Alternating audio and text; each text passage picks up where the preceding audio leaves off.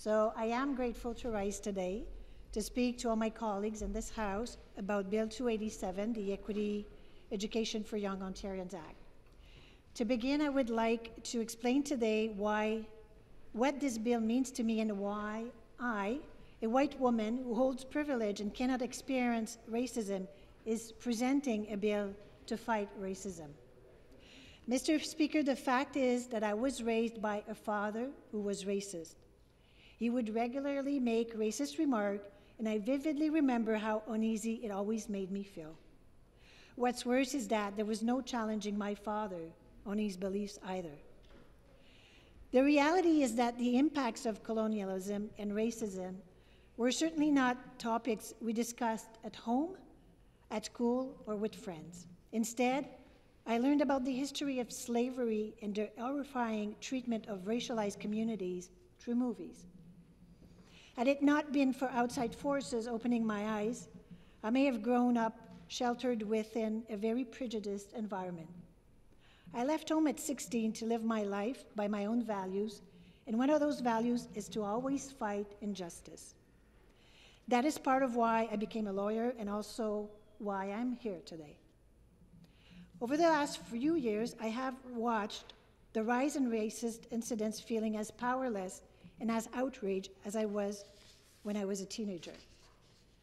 Now, having teenagers of my own, I see and I hear that they are feeling the same level of distress I do. We also know that the fear that we feel witnessing these incidents is nowhere near the level of fear and danger that racialized and indigenous communities experience. I recognize that it is a privilege in itself that I can stand here today and ask for this support. So many black, indigenous, and people of color in our province have been fighting and calling for actions for generations. Now that I am elected, it is my responsibility as an ally to these communities to do something about it. Before getting into this bill itself, I would like to speak for a moment about how this proposal came to be. So last summer, a university student named Parnika Raj reached out to me to discuss a, a petition she had created. Her petition was posted on the change.org website, it still is, and it demanded the implementation of a mandatory course on race and ethnicity in Ontario high schools. This petition has collected over 66,500 signatures, and the number continues to grow.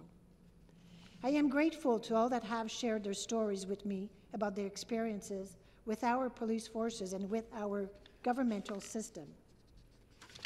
Leading up to introducing this bill, I consulted with many experts and heard from all kinds of perspectives. One of those opportunities was when I held a forum on reform of the police and justice system. Hosted by City Councilor Rawlson King, a leader in the Ottawa Black community, over 200 participants came together to hear from six speakers and discuss a way forward. It was a deeply valuable conversation between experts members of the Ottawa Police Services Board, local churches leaders, community members, and passionate spokespeople from the BIPOC community who spoke eloquently about what racism feels like to those who experience it. A common thread woven through all of the consultation and meetings was that it is important that we openly talk about racism, even though those conversations may be difficult, just like the ones on human trafficking. We need to really listen to the calls for change and conversation need to be framed appropriately, informed from reliable source, and respectful.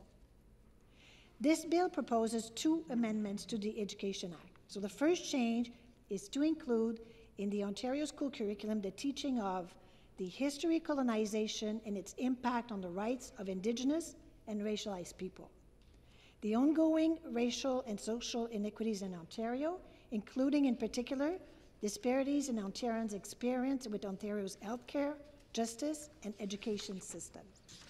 And finally, how students can contribute to building an inclusive and equitable Ontario. These topics would be addressed from junior kindergarten through grade 12 in an age-appropriate manner. The content for these topics would need to be developed in collaboration with local, non-governmental persons, and organizations who have specialized knowledge in these topics. as well as groups representing Ontarians who are Black, Indigenous, or persons of color.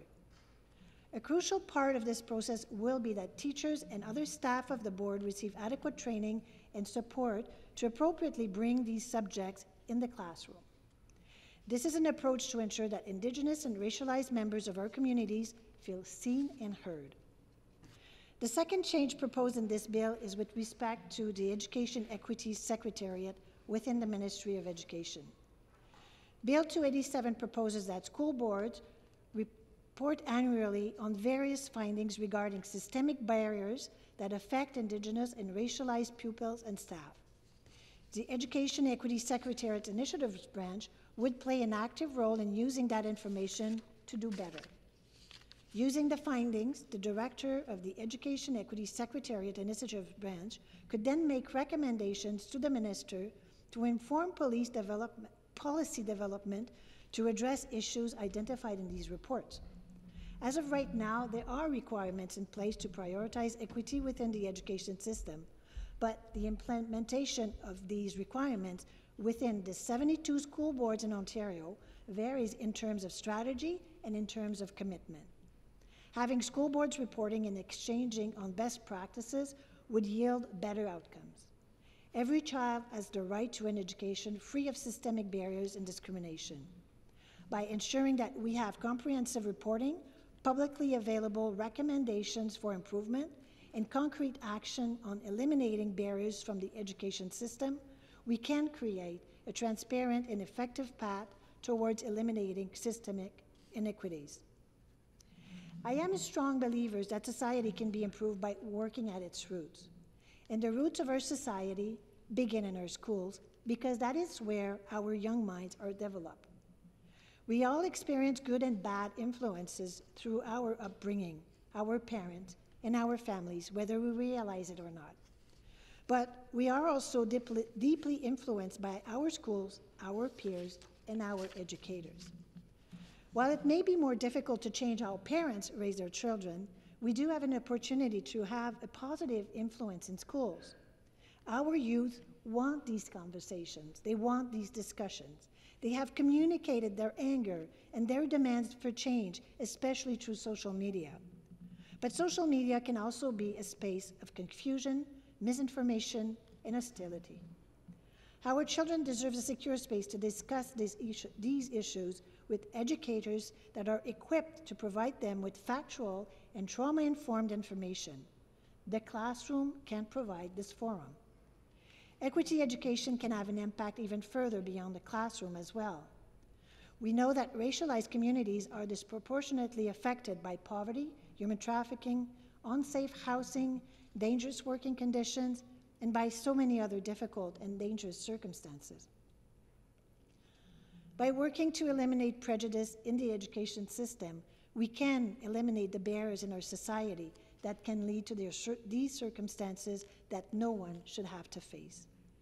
When youth grow up with prejudice, they go on to bring those bias into the workplace in all areas of our society. They also go on to raise their own children with the same bias. Equity education has the potential to have a ripple effect on all the other areas in which racialized and indigenous people experience systemic racism.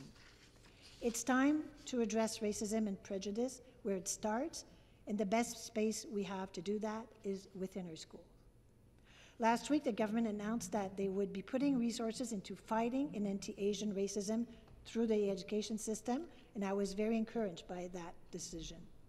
That tells me that the members opposite understand the importance of tackling racism through our schools and that there is a willingness to act. I recognize that there is so much more to be done in all, sect- in all sectors to truly fight racism and discrimination in this process. But the work does not stop here by any means. This is but one crucial step in the way forward that we can take together immediately. I urge every member in this House to show Ontarians that they have listened to racialized and Indigenous communities in this province and around the world. I urge them to stand with the members of our communities that have been fighting for the equity that they have always deserved and that shouldn't have to go through that fight on their own. Support for this bill is support for concrete action towards a better future for our province. Thank you, Mr. Speaker.